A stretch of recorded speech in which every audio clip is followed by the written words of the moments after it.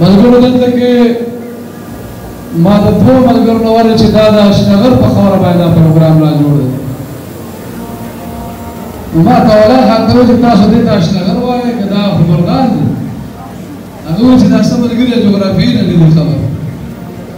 نو ګران عزیزانو تاسو زموږ وروڼه یې او دا مردان زموږ استادو په شریکه باندې خو دا مردان دی دا اشنغر نه دی چې په دې تاسو خبره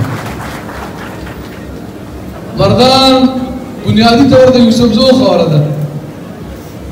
او بیا نورې قبیلې پکې د پښتنو را باندې شوي دي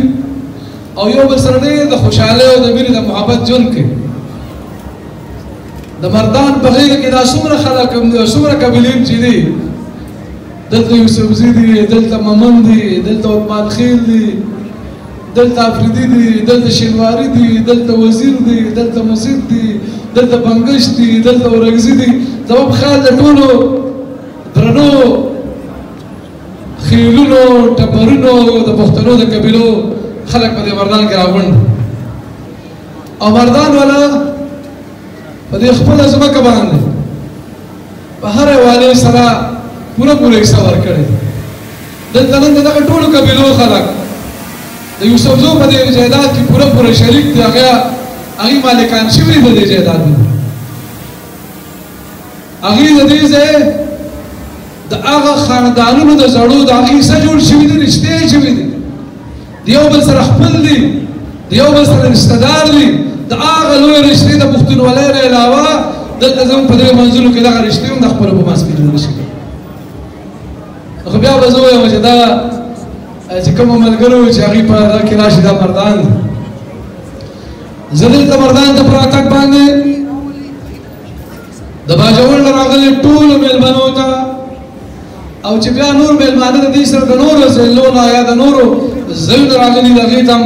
د زړه د کومې په خیرالي وایم هرکلي ورته وایم مردان ته هر کله راشئ مردان ستاسو ده او زه د باجوړ سټورز ارګنایزیشن سره تړلي څومره دلته طالب علمان چې دي کاغه عبدالغني خان یونیورسټۍ کې دي کاغه دلته په اګریکلچر یونیورسټۍ کې دي کاغه په انجینري یونیورسټۍ کې دي کاغه باچا خان میډیکل کالج کې دي کاغه نور د هیلت انسټیټیوشن د نارت په دې کې دي یا په هر اداره کې دي ټیکنیکل ایجوکیشن کې چرته دي نو هغوی له باور ورکوم چې زه حمایت الله معیار دلته کې ما زه د مردان مېر یم زه چې څنګه د مردان د خلکو لپاره مېر یم دغه شان ستاسو لپاره یم چې څه مسله وي ما ته راځئ انشاءالله تعالی ستاسو لکه زما لپاره هېڅ فرق هم نشته او ما ته همیشه لپاره همدغه شان د باجوړ نه چې دا کم ملګري زیات راځي د دیر نه راځي د کم کم ځای نه ملګري راځي نو اکثر معرفي ملګري راشي څوک راته هلته د هغوی ووایي چې دا ملګري دا روان دي د دوی دا دا کار دی یا په خپله څوک راشي نو موږ ول هغه شان وخت ورکوو چې څنګه د دې ځای خلکو له وخت ورکوو نو زه نور وخت نه علم ستاسو نو څنګه پښتنو څنګه تاسو د دې خپل خاورې د تاریخ نه د دې خپل خاورې د اهمیت نه د افادیت نه خبر یې او خبر نه نو ځان خبر کې دا الله تعالی مولا ډېر غني خبر راکړي الله تعالی مولا په دې خبر باندې د شپېرا نعمتونه راکړي نن تاسو ګورئ نن د پاکستان د ګیس او یا فیصد ګیس په دې شوبه کې پیدا کیږي نه د پاکستان چې تیل څومره پیدا کیږي دلته هغه دېرش فیصده پیدا کیږي او یو فیصده موږ ته بهر نه راغواړو د هغې پنځه فیصده پنځه شپېته فیصده دلته پیدا کیږي مختلف قسم ماینز او منرلز دلته کې دي اوبه دلته کې دي هغه اوبه چې د هغې نه بجلي په اسانه باندې جوړېږي د پنجاب د لارې شي لومړی شي ده تاسو وګورئ ځنګلونه دلته دي د سیل ځایونه دلته دي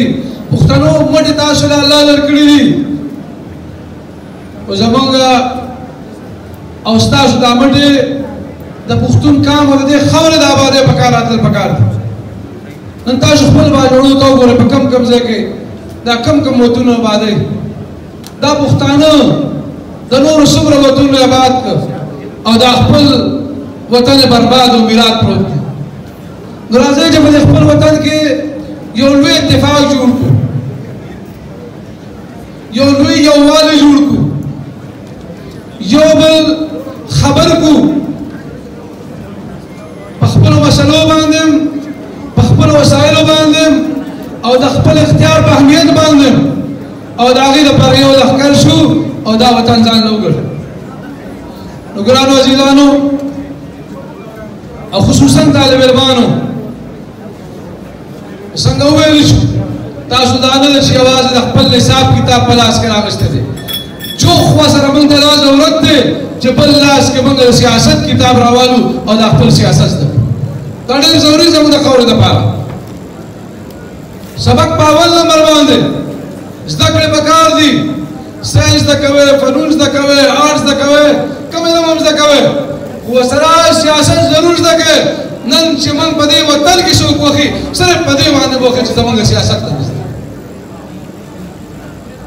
نو دا زده کړه ډیره ضروري ده زه بیا ما پسې چټه ورور رسېدو زمونږ کومه د ټولو مشرانو او ټول باندې ګران یې د څه مشرانو را سره تعلق د ګوند په حواله باندې دی خو چونکې تاسو ټول را باندې ګران یې نو په دې وخت کې د هغې نومونه نه شم اخیستی بیا به تاسو وایي دا پې ډېر ګران دي نو تاسو په ما باندې دلته مېلمانه یو شان را باندې ګران یې زه بیا تاسو ته په خیر راغلی یم مردان ته هر کله راشئ او طالب علما ته بیا دغه باور ورکوم چې زما بچی د دې مردان یې ستاسو د خدمت لپاره زه حاضر یم ډېره مننه